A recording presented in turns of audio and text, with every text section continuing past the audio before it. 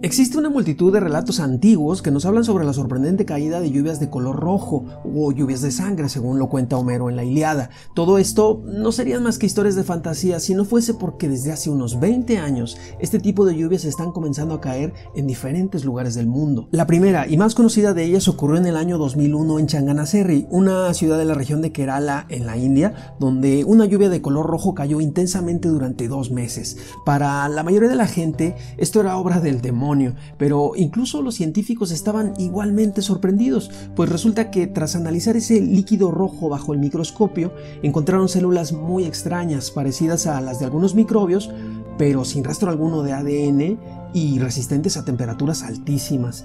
Una investigación del científico hindú Godfrey Lewis concluyó que se trataba de células extraterrestres dejadas quizá por algún cometa, lo cual reforzaba su idea de que la vida en la Tierra proviene del espacio, algo mejor conocido como teoría de la panspermia. Y esto no fue tomado como broma, pues sus investigaciones aparecieron en las revistas científicas más reconocidas del mundo. Otros investigadores, por su parte, señalaron que más bien este fenómeno era producido por una alga llamada Trentifolia, aunque a estos nadie les hizo caso.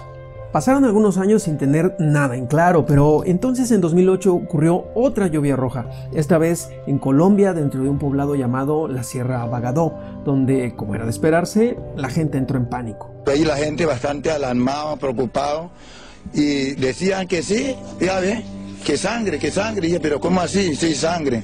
Pues yo a lo menos soy un tipo bastante como preocupado también. Dije, no, esto es una cosa que esto nunca se ha visto. Una bacterióloga del pueblo hizo un análisis rápido del agua y su conclusión no fue que contuviera algo extraterrestre o algún tipo de alga, sino que se trataba de sangre de verdad, lo cual incrementó la alarma en la población, aunque para ese momento ellos ya estaban muy seguros de su explicación.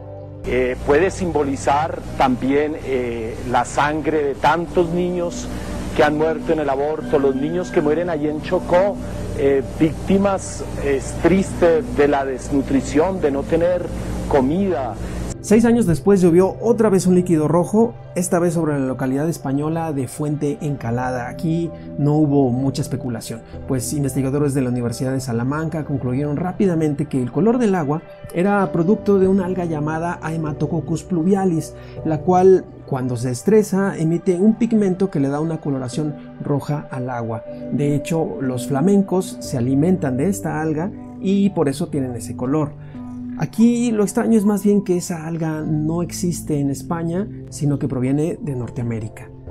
Más lluvias rojas sucedieron en Rusia y otros países, aunque ya no sorprendieron a nadie. La evidencia científica había concluido por fin que estos fenómenos se deben a diversos tipos de algas y en algunos casos también al polvo del desierto del Sahara. Lo cual, bueno, pues ya no es tan fantástico como las otras explicaciones, pero no deja de ser sorprendente, pues demuestra que las algas tienen la capacidad de dispersarse por el aire y viajar muy largas distancias, incluso cruzando océanos y continentes.